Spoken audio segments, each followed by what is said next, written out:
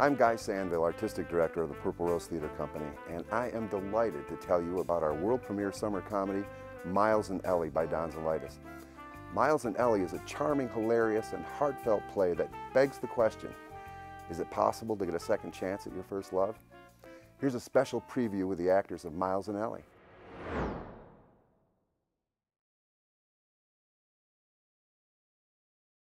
Hi, I'm Lauren Smith, and today we're talking about the play Miles and Ellie. We have Rhiannon and Rusty joining us in studios today. Thanks for being here. Thank, Thank you. you. Tell us a little bit about your characters.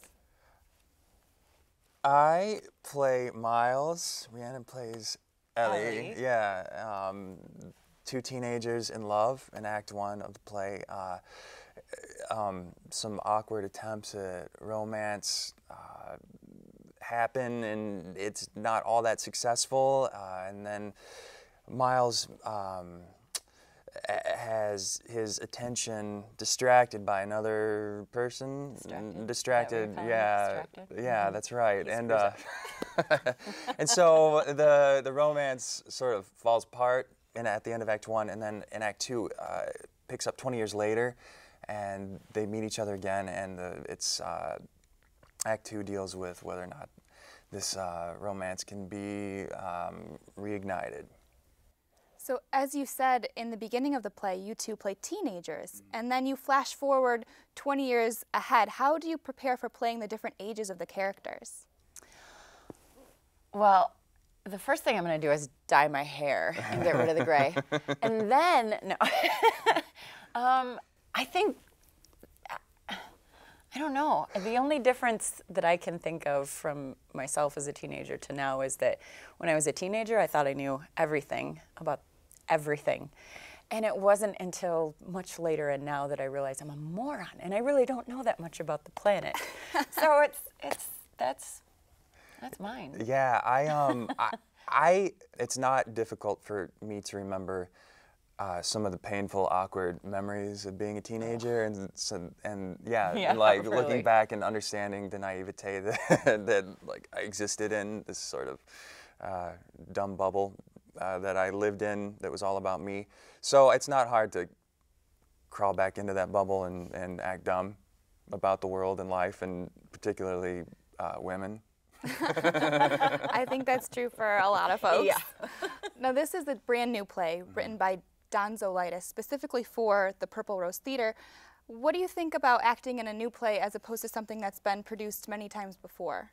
I don't. I think it's it's a little more challenging because you don't. You, sometimes when the play's been done or it's well known, it kind of has already has a certain path, or people are familiar with it, like a brand.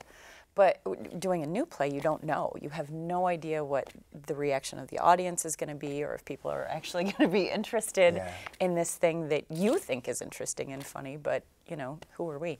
Yeah, I'm really excited about it. Um, Guy Sanville, who's going to direct the play, um, is kind of specializes in, in developing new work. Um, so I'm really excited. We're going to be in great hands, and um, I am looking forward very much to doing something that's original.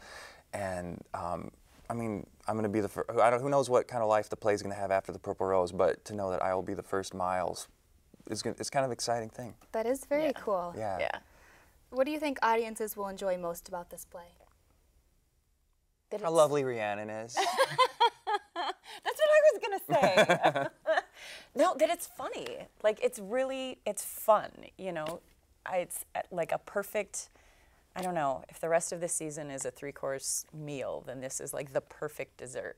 It's really fun. It's intelligent. It's witty. Yeah, it's hilarious. The cast is just. I'm Yeah, it's so gonna. looking forward to everybody. Yeah, it's gonna be really fun. I, I mean, and the audiences are gonna be able to relate. Everybody has fallen in love.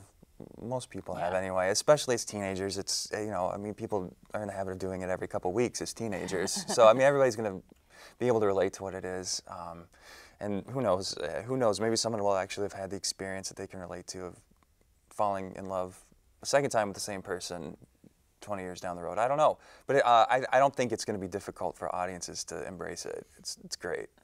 Funny stuff. It all sounds very exciting. Rusty and Rhiannon, thanks so much for joining us today. Thank you so much. It was great having you here. uh, I'm Lauren Smith, and this was a look at Miles and Ellie. We hope y'all go see it. Thanks.